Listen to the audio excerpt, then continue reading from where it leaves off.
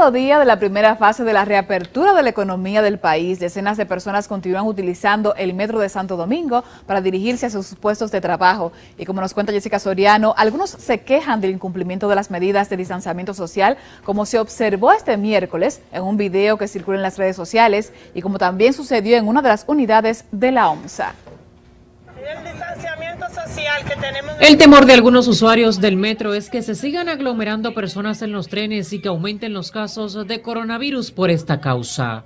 Si esto sigue así, yo creo que vamos a tener que volver a lo mismo, porque deberíamos de cooperar con las medidas y no estar tan aglomeradas así, con tanta gente pegada, porque si no, tenemos que obedecer. Tú sabes cómo somos nosotros dominicanos, que es eh, como era el primer día, hubo multitudes de, de pasajeros en el metro. Por eso podía suceder eso. Pero ya hoy se va normalizando y en la hora pico todo eso sucede. El director de la OPRED justificó la gran cantidad de personas en el metro como ocurrió este miércoles y dijo que la situación se debió a una falla técnica en uno de los trenes, lo que retrasó las operaciones. Pero fue una situación puntual que quizá pudo haberse eh, corregido por una situación imprevista, eh, que no se dio en todo el día. Todo el día la situación se manejó eh, completamente dentro de los parámetros. Si esto vuelve a ocurrir en esa magnitud, probablemente tengamos que llegar al punto de que haya que cerrar las puertas de las estaciones.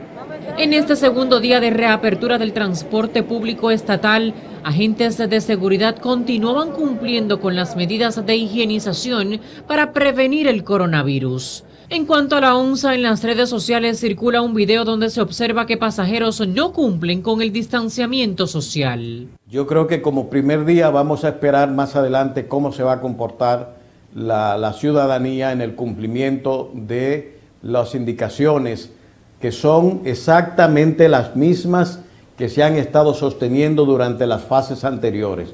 El distanciamiento físico se ha indicado para los autobuses. Según la OPRET, 51 mil pasajeros abordaron el metro durante su primer día de reapertura, lo que equivale a un 12% de su capacidad habitual. Jessica Soriano Noticias, SIN. Continuamos con los